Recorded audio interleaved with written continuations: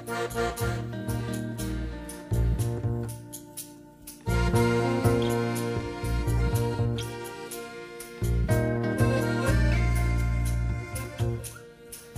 skal nærme deg den langsomt ifra sjøen.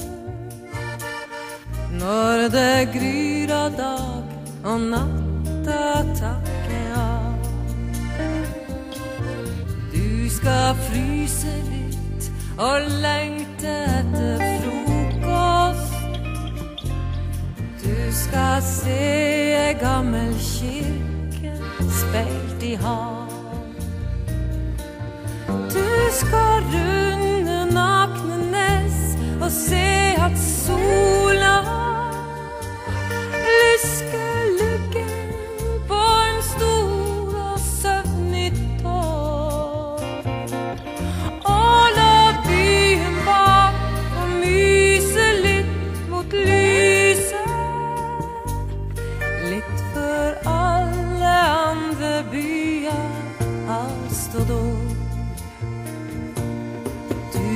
Stå om bord og se at trossen kastes.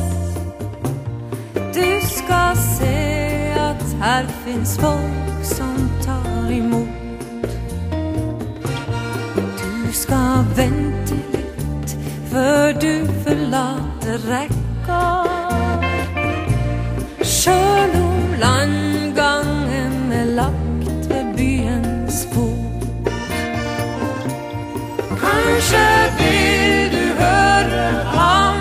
Hammerslag fra verftet og se en sjark som drar på feltet for å prøve om det er verdt å dra så tidlig ifra byen mens de fleste andre byer ligger sør.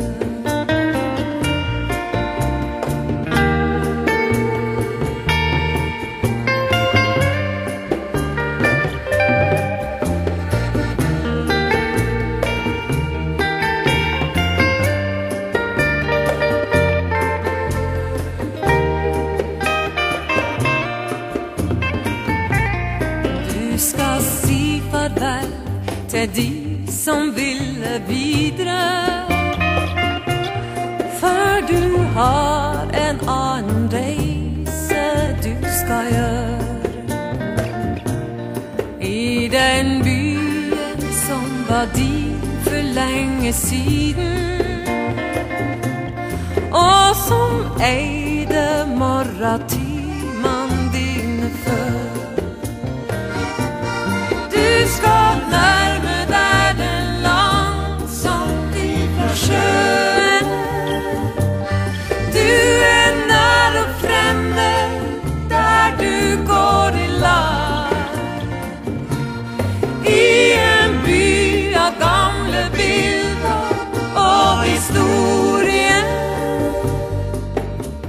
Anam sana son düğünüm Anam sana son düğünüm Anam sana son düğünüm Eşik